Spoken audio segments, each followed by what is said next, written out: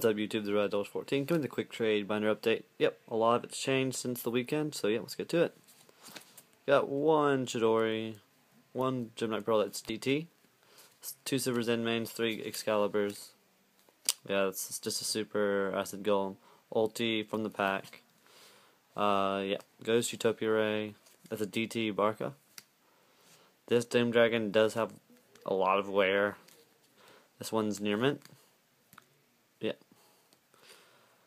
Uh, that Dark Highlander is not from the 10. Ulti, Ulti. Well, Ulti as well. That's super. This is a jump. Teach Hyper Librarian. Yep. Super.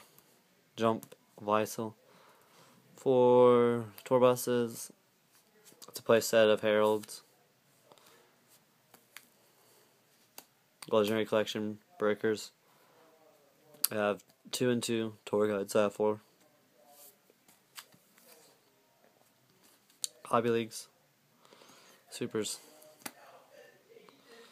Yubels are from Legendary Collection. Two Tengus Ultras. Ulti Serados. That is also not from the 10. I have three Hanzos. I have one gold, one ultra, one ulti of the Plague Spiders. It's a playset of Super Tigers, playset of Shining Angels, two Giant Rats, playset of Ur-Knights, Associated Floors. I have another Abysslinde, and I have two Hibiscus that are incoming that are for trade if you want those as well. Uh, I, I do need some, I need one ulti First Ed Linde and uh, just the ulti sphere I don't care about first ed or unlimited. I just need one more ulti spear. Yep. Super mass change. Common lance. Two ulti uh, wands. That's just a rare starlight. Starfoil, black rare. I have two common bottomlesses.